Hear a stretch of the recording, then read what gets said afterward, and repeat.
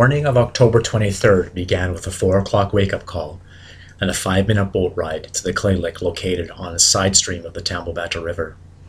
As the dawn approached, around 5.30, parrots and macaws started to arrive and perch in the tree canopy surrounding the clay lick. They arrived in groups of twos and fours, parrots and macaws alike. The screeching and screaming of these birds became deafening. Scouts were sent out to inspect the clay lick and flybys.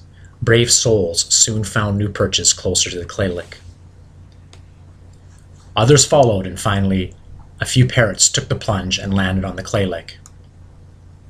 There are two reasons why parrots and macaws eat clay. One is to get key minerals such as sodium, calcium, and iron. In addition, their diet includes parts of plants and unripe fruits that contain toxins, and it is believed that the clay acts as an antitoxin.